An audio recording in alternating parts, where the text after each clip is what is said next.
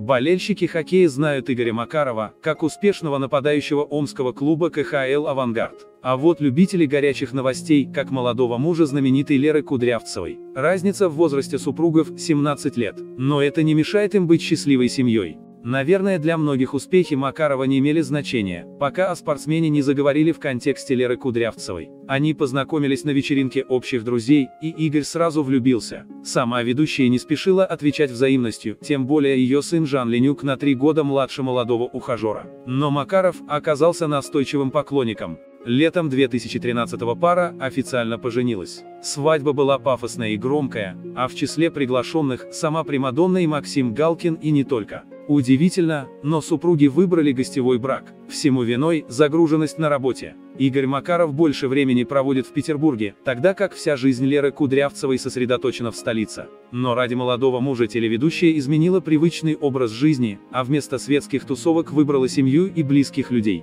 Коллеги заметили эти перемены и искренне порадовались за светскую львицу.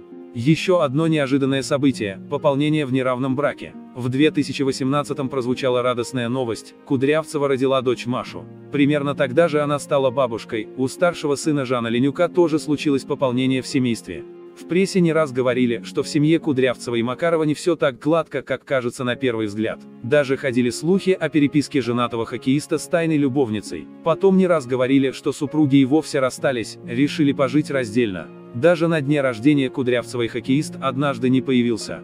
Ситуацию прояснила сама Лера Кудрявцева, которая заявила, что в семье все прекрасно. Просто загруженность на работе не дает влюбленным много времени проводить вместе. Зато совместные отпуска уже успели стать доброй семейной традицией. Макаров и Кудрявцева много путешествуют, занимаются воспитанием дочки Маши. Кстати, родила ведущая без участия суррогатного материнства. Хотя многие оспаривают этот факт.